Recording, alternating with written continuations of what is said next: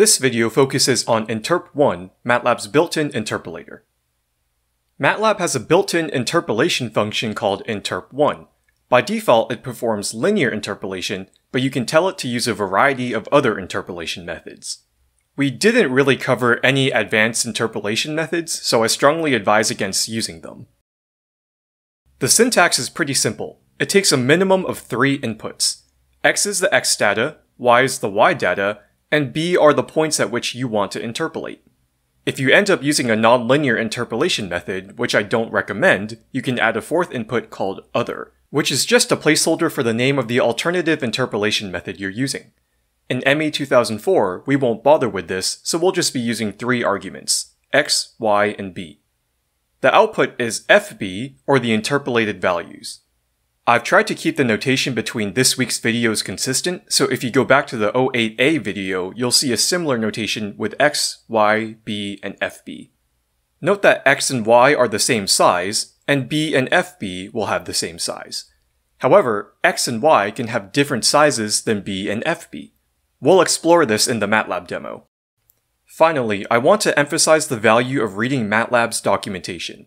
The Interp1 documentation in particular has plenty of really good examples of usage and syntax and has additional syntactical information. Let's move into MATLAB for the demo. Okay, here we are in MATLAB. We'll interpolate using the formula shown in the previous video and through Interp1. For notational purposes, the formula shown in the previous video is called Newton interpolation. Let's start the demo by recreating the results we obtained in the Newton interpolation video. We had our x data go from 0 to 3 in increments of 1 and our associated y data vector.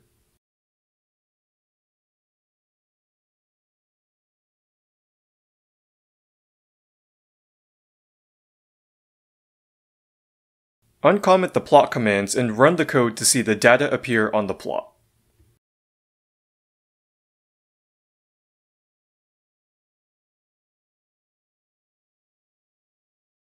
In the first video, we chose b equals 2.5 and calculated f of b to be 6.5. Newton interpolation also needs the two surrounding points, a and c respectively, and their associated y values fa and fc.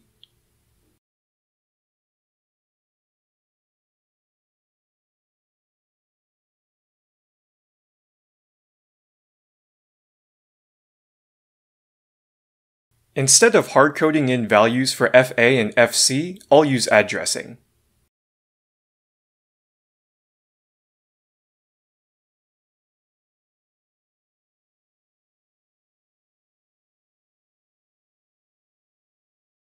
Now we need the Newton interpolation formula.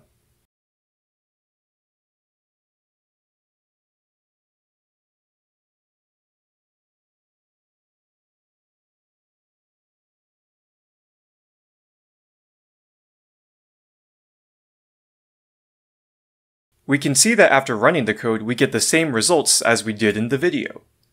I'll plot this point so we can see it on the graph.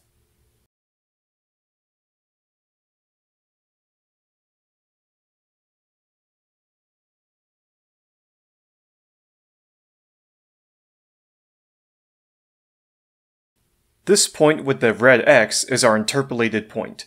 Now let's try using the interp1 command. We need the X data as our first input the y data as the second input, and our query value, or b, as the third input. Interp1 takes more inputs if we're doing a nonlinear interpolation, but we're not, so we only need these three inputs.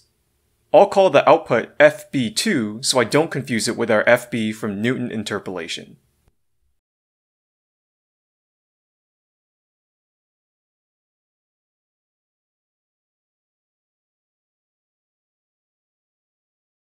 And once again, the results agree exactly. I'll add one last plot command for clarity. Don't forget to uncomment the legend command before you run the code.